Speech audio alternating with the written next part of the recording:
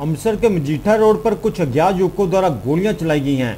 लेकिन गोली चलने की यह घटना, वहाँ लगे सीसीटीवी कैमरे में कैद हो गई। गोली चलाने वाला युवक एक पुलिस मुलाजिम का बेटा है और वह एक पार्षद के बेटे पर गोली चला रहा था। वहीं अमृतसर के मजीठा रोड पर एक गली में सीसीटीवी कैमरे लगाने को लेकर गोलियाँ चली हैं। वहीं इस मामले में आरोपी का नाम जगवीर सिंह बताया जा रहा है। वही बताया जाता है की जगवीर गली में लगाए जा रहे सीसीटीवी कैमरे के खिलाफ था, जबकि जबकि उसकी गली में रहने वाला सुरेंद्र के साथ झगड़ा हो गया।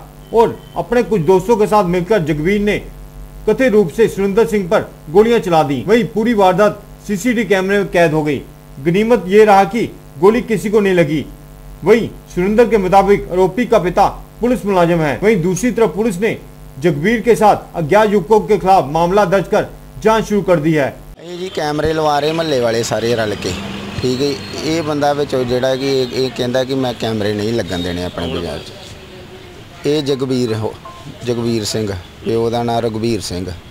ਕੀ ਕੰਮ ਕਰਦਾ ਪਿਓ ਦਾ? ਪਿਓ ਪੁਲਿਸ 'ਚ ਸਿਪਾਹੀ ਹੈ। ਕੀ ਰਾਤੀ ਕੱਲ ਕੀਤਾ ਨੇ? ਰਾਤ ਇਹ ਆਂਦਾ ਹੈ ਕਿ ਮੈਂ ਅਸੀਂ ਉੱਥੇ ਕ- ਕੈਮਰੇ ਦੀ ਤਾਰਾਂ ਦੀਆਂ ਸੀ ਸਪੈਨ ਅਸੀਂ ਸਾਰੇ ਮਹੱਲੇ ਵਾਲਿਆਂ ਨਾਲ ਰਲ ਕੇ ਕਲੈਕਸ਼ਨ ਹੋਈ ਸਾਡੀ।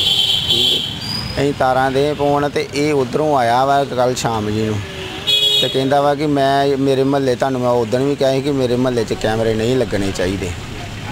ਬਸ ਉਸੇ ਗੱਲ ਤੋਂ ਸਾਡੇ ਨਾਲ ਇਹਦੀ ਥੋੜੀ ਜਿਹੀ ਮਤਲਬ ਕਿ ਮਤਲਬ ਕਿ ਨਿੱਕੀ ਜੀ ਗੱਲ ਬੈਸੋ ਬਸਾਈ ਹੋਈ ਜੋ ਵੀ। ਇਹਨੇ ਗਾਲਾਂ ਕੱਢਣੀਆਂ ਸ਼ੁਰੂ ਕਰਤੀਆਂ।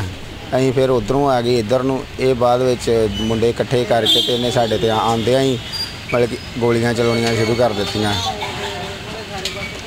ਤੇ ਬਸ ਇਸੇ ਗੱਲ ਤੋਂ ਹੀ ਜੋ ਵੀ ਅੱਗੋਂ ਬੜਾ ਮਤਲਬ ਕਿ ਇੱਟ ਵੱਟਾ ਵੀ ਚੱਲਿਆ, ਇਹਦੇ ਨਾਲ ਮੁੰਡੇ 15 16 ਮੁੰਡੇ ਹੀ ਸਾਰੇ। ਗੋਲੀਆਂ ਆ ਦੇਖੋ ਕੰਧ ਤੇ ਵੱਜੀਆਂ।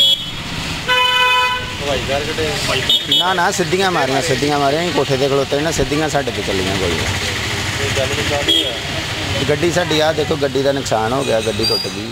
ਹੋ ਕੇ ਦੋ ਗੁੱਡਾਂ ਦੇ ਵਿੱਚ ਹਵਾਈ ਫਾਇਰ ਹੋਏ ਨੇ ਜਿਹਦੇ ਆਧਾਰ ਤੇ ਸਾਡੇ ਥਾਣਾ ਸਦਰ ਵੱਲੋਂ ਕਾਰਵਾਈ ਕਰਦੇ ਹਾਂ ਅ, ਪਰਚਾ ਦਰਜ ਕਰਤਾ ਤਫਤੀਸ਼ ਕੀਤੀ ਜਾ ਰਹੀ ਹੈ ਜੀ। ਸਰ ਕਿੰਨੇ ਜਣੇ ਦਾ ਪਰਚਾ ਹੋਇਆ ਜੀ? ਇਹਦੇ ਚ ਬਾਈ ਨੇ ਤਿੰਨ ਬੰਦਿਆਂ ਤੇ ਪਰਚਾ ਹੋਇਆ ਜੀ ਤੇ ਨਾਮ ਇੱਕ ਜੱਜ ਆ ਜੀ ਬਾਕੀ ਉਹਦੇ ਕੰਪਲੀਸ ਹੈਗੇ ਦੋ ਤੇ ਇਹ ਜੱਜ ਸਾਨੂੰ ਪਤਾ ਲੱਗਾ ਵੀ ਇੱਕ ਕੋਈ ਸਾਡੇ ਪੁਲਿਸ ਮੁਲਾਜ਼ਮ ਸ਼ਾਇਦ ਹੈ ਹੌਲਦਾਰ ਦਾ ਮੁੰਡਾ ਜੀ। ਕੀ ਕਾਰਨ ਸੀ ਜੀ? ਇਹਦੇ ਚ ਕੈਮਰਿਆਂ ਤੇ ਲੱਗਣ ਤੋਂ ਕੋਈ ਟਸਲ ਹੋਈ ਹੈ ਇਹ ਉਸ ਲੋਕੈਲਿਟੀ ਦੇ ਵਿੱਚ ਸੀਸੀਟੀਵੀ ਕੈਮਰੇ ਲਗਾਉਣਾ ਚਾਹੁੰਦੇ ਨੇ ਉਹਦੇ ਵਿੱਚ ਕੋਈ ਆਪਸ ਵਿੱਚ ਇਹਨਾਂ ਦੇ ਮਤਭੇਦ ਹੋਏ ਨੇ ਇਸ ਕਰਕੇ। ਸਰ ਗੋਲੀ ਕਾਉਂਸਲਰ ਦੇ ਉੱਪਰ ਚਲਾਈ ਗਈ ਹੈ ਨਹੀਂ? ਹਵਾਈ ਫਾਇਰ ਹੋਏ ਨੇ ਜੀ ਕਿਉਂਕਿ ਸਾਡੇ ਕੋਲ ਇੱਕ ਵੀਡੀਓ ਵੀ ਆਈ ਹੈ ਫਿਰ ਵੀ ਅਸੀਂ ਤਫਤੀਸ਼ ਕਰ ਰਹੇ ਹਾਂ ਜੇਕਰ ਕੋਈ ਇਦਾਂ ਦਾ ਹੋਇਆ ਤਾਂ ਜੋ ਜੇਕਰ ਜ਼ੁਰਮ 'ਚ ਵਾਧਾ ਕਰਦੀ ਲੋੜ ਵੀ ਜਾਗਤੀ ਲੜਕੇ ਲਈ ਅੰਮ੍ਰਿਤਸਰ ਸੇ ਅਮਨ ਮਾਹਲ ਕੀ ਰਿਪੋਰਟ।